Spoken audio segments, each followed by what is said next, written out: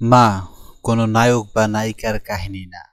মা হলো সামান্য এক গরিব পরিবারের অত্যাচারিত এবং ভীত পরিবেশ থেকে ধীরে ধীরে নিজের ছেলে ও তার সঙ্গীদের সঙ্গে সমান্তে যে লড়তে থাকা এক বৃদ্ধা যোদ্ধার মন ও দৃষ্টিভঙ্গির পরিবর্তনের কাহিনী।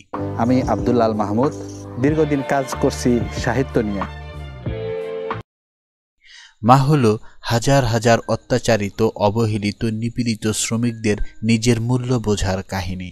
মা হলো এক মায়ের বুকু ভরা স্নেহ ও মমতার কাহিনী।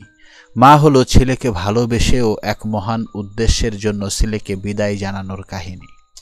রুশ সাহিত্যিক ম্যাক্সিম গোর্কির জন্ম আঠারোশো আটষট্টি সালের আঠাশি মার্চ সোভিয়েত ইউনিয়ন তথা রাশিয়ায়। তিনি নিজেই তার সাহিত্যিক ছদ্মনাম রাখেন গোর্কি, যার অর্থ রুশ ভাষায় তেতো। তার বিখ্যাত কালজয়ী উপন্যাস হচ্ছে মা। মাত্র নয় বছর বয়সে তিনি পিতৃমাতৃহীন হন। আঠারোশো আশি সালে মাত্র বারো বছর বয়সে তিনি গৃহত্যাগ করেন তার দাদিমাকে খুঁজতে। যখন তার হাতে আর উপায় নেই, তখন আঠারোশো সাতাশি সালের দিকে আত্মহত্যার চেষ্টা করেনও তিনি।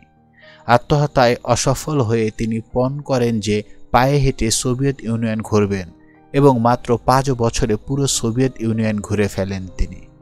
কিন্তু জীবনকে সে বুঝেছিল সবার অলক্ষ্যে, বুঝতে পেরেছিল তৎকালীন সোভিয়েত ইউনিয়নের সংকট। তাই তো পরিবর্তন আর বিপ্লবের রং তুলিতে এঁকেছেন একের পর এক কালজয়ী উপন্যাস। উনিশশো ছত্রিশ সালের আঠারোই জুন তিনি মৃত্যুবরণ করেন। তিনি মার্ক্সবাদী আন্দোলনের প্রথম সারির যোদ্ধা।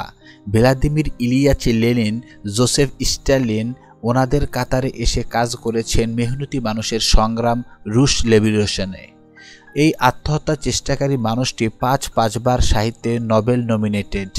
সাহিত্যের মডার্নিজম সময়ের কালপুরুষ তিনি। পুষ্কিন, টলস্টয়ের মতো রুশ সাহিত্যে তিনি রেখে গেছেন অনবদ্য সব লেখা। এই প্রবাদ প্রতিম পুরুষ মাত্র আটষট্টি বছর বয়সে উনিশশো ছত্রিশ সালের আঠারোই জুন মহাপ্রয়াণের মধ্য দিয়েই অমর হয়ে যান। তার লেখা মা উপন্যাসের প্রেক্ষাপটটা অনেকটা এমন ছিল, তখন রাশিয়া বলতে কিছু নেই। নামটা সোভিয়েত ইউনিয়ন ইউএসএসআর তখন জনসংখ্যা প্রায় তিন চতুর্থাংশের মানুষ কৃষক, যার মধ্যে পাঁচ কোটি ভূমিদাস ওরা শোষিত হতো জারের রসানালে। আঠারোশো একষট্টি সালে যার দ্বিতীয় আলেকজেন্ডার ভূমিদাস প্রথা বাতিল করতে বাধ্য হলে সবাই কারখানার শ্রমিক বনে যায়।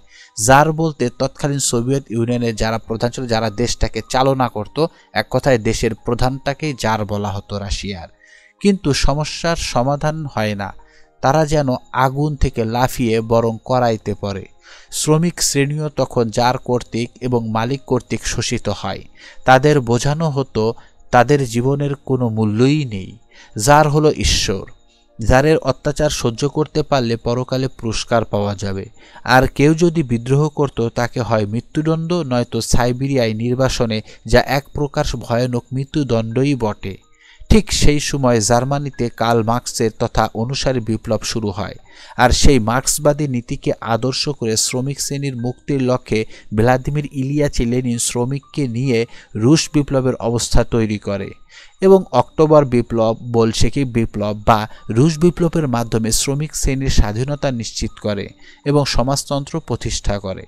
এই উপন্যাসে দেখানো হয়েছে কীভাবে সেই বিপ্লবের উত্থান এবং সেই বিপ্লবের একজন মা আর তার বিদ্রোহী ছেলের রোমাঞ্চকর ঘটনা লোমহর্ষক বর্ণনা। এখানে মূল যে গল্পটা সেটা অনেকটা এমন ছিল, মদখোর, জুয়ারি বদরাকি একজন শ্রমিক ছিল যার নাম ছিল মিখাইল গ্লাসব। স্ত্রী পেলাগিয়া নীলভনাকে প্রচুর অত্যাচার করে, বেদম মারে। মহিলাটা ভুলেই যায় যে সে কবে সুখে ছিল। এখানে একটা দর্শন আছে। সমাজে এমনও কিছু নারী আছে, তারা কোনো এক বিকেলে বসে অতীতের স্মৃতি মনে করে সুখ পাওয়ার ও অবসর পান না। সুখ বিচ্যুত এই নারীগুলো তাদের জীবনের সাথে লাশকে টেনে টেনে ফিরে। হঠাৎ করে একদিন গ্লাসপ মারা যায়। নীলভনা বুক উজাড় করে কাঁদে। কেন কাঁদে? মায়ের খেতে পারবে না বলে? আমি জানি না। নীলভনা জানেন আর দুনিয়ার মায়া ভালোবাসাগুলো জানে। একমাত্র ছেলে পাভিলকে নিয়ে নতুন সংগ্রাম শুরু করে নীলভনা। সব শ্রমিকের ছেলের মতো তার ছেলেও শ্রমিক হতে বাধ্য। কিন্তু যেন সবার মতো না, মদ ছয় না, মাতাল হয় না, মেয়ে লোভী নয়, আচার ব্যবহার কি অদ্ভুত মিষ্টি। মা, পাভেল ভ্লাসফের পেলাগুয়া নীলভনা। ফ্যাক্টরির পাশের বস্তিতে যার বসবাস। তখনকার সমাজের পুরুষ স্বরূপী মাতাল বিদঘুটে আর কর্কশ, ঠিক যেমনটা ছিল পাভেলের বাবা মিখাইল ব্লাসভ কিন্তু কিশোর পাভেল তাদের থেকে আলাদা। সে তার মাকে সম্মান করে কোনো প্রকার বাজে কাজে মনোযোগ নেই, আর কী সব জানে পড়াশোনা করে। আসলে তার এই পরিবর্তনের মূল যে পিছনে যে কারণটা, সেটা ছিল এই পড়াশোনা এবং তার সঙ্গী সাথী। এমন চরিত্রটাই তখন মাকে ভাবিয়ে তোলে। যদিও মায়ের ভালোবাসা আর দোয়া দিন দিন বেড়েই চলেছে পাভেলের জন্য, কারণ অন্য সব ছেলেদের মতো পাভেলের কোনো বাজে নেশা নেই। সারাদিন কাজ করে, মাকে খুব সম্মান করে, সবার সাথে মিশে। আদর্শ ছেলে যাকে বলে। আর এটাই মাকে ভাবায়, কারণ তখনকার নিচু শ্রেণীতে আদর্শ ছেলে থাকাটা অবিশ্বাস্য ছিল। হঠাৎই একদিন কে যেন ঠোকা দেয় পাভেলের দরজায়। নিকোলাই, খখল, শাসা, নাতাশা আরও কয়েকজন, যাদের সবাইকে দেখে মায়ের পাভেলের মতোই লাগে। ওদের আচার আচরণ এবং ওদের চেহারার অবয়বটা অনেকটা পাভেলের মতোই। পোশাক পরিচ্ছদ যেন ওরা সবার চাইতে আলাদা, আদর্শ ছেলেদের দল। কি যেন সব আলোচনা করে ওরা। লেখালেখি সহ কত কি, কিন্তু মায়ের মমত্ববোধ ঠিক বুঝে নেয়, নিশ্চয়ই ভালো কিছুই করছে। হঠাৎ একদিন ফ্যাক্টরির দেয়ালে দেয়ালে পোস্টার সাটানো হয়েছে। বিদ্রোহীদের কথা, শিকল ভেঙে ফেলার আবদার, মানুষ হবার কথা অধিকারের ভাষা সবই যেন স্ফুলিঙ্গের মতো ছুটতে থাকে, মা এবার ভয় পেতে থাকেন। এ তো তার সূর্য সন্তানেরা, আর তখনই নিজের গর্বিতও মনে হয়। দিকে দিকে বিপ্লবের বার্তা বইতে থাকে, আর টিকটিকি অর্থাৎ সরকারের গুপ্তচর আর পুলিশের ঘুম হারাম।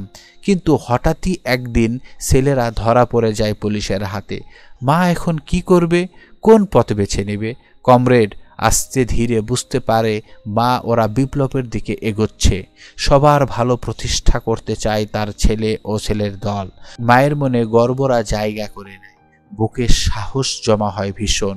এদিকে পাভেল ও তার সহযোগী কমরেডরা নিয়মিত গোপনে কাগজ বিলি করে, যাতে লেখা থাকে অত্যাচারের সব নজির।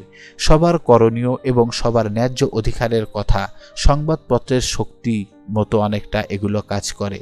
তার আড়ালে আবডালে স্বপ্নালু চোখে সটিকা বিদ্রোহ করে মাঝে মাঝে, আর এর জন্য এক সময় পাভেল পুলিশের হাতে গ্রেপ্তার হয়ে শ্রীঘরে যায়, অর্থাৎ জেলখানায় যায়।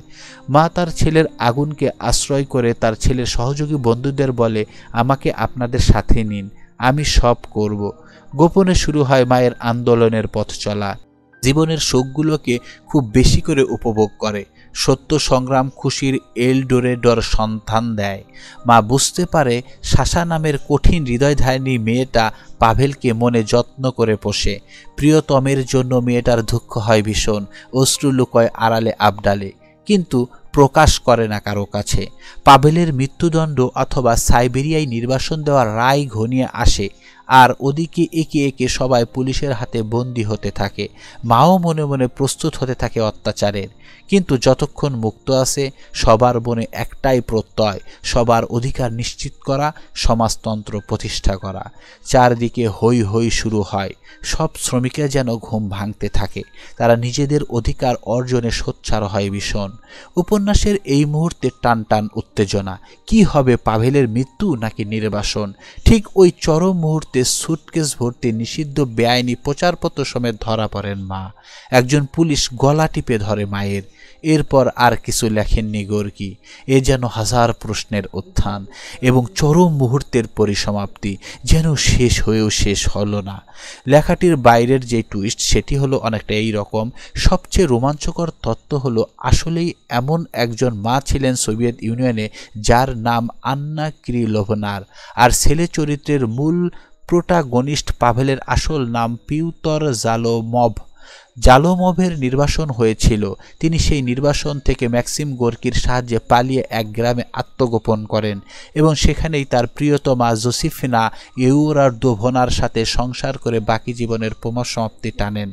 শেষ করছি জালেমভের একটা কথা দিয়ে। আমি চাই গোলাম যেন না থাকে। গোলামদের আমি ভালোবাসি না। ভালোবাসি যোদ্ধাদের, ভালোবাসি সেই লোকদের যাদের মধ্যে দেখি স্বাধীন মানুষের পৌরস। বইটি পড়ে ফেলুন খুব তাড়াতাড়ি। সোভিয়েত ইউনিয়নের মতো পরাশক্তির প্রেক্ষাপটটুকু খুব প্রাঞ্চঞ্চলভাবে প্রস্ফুটিত হবে।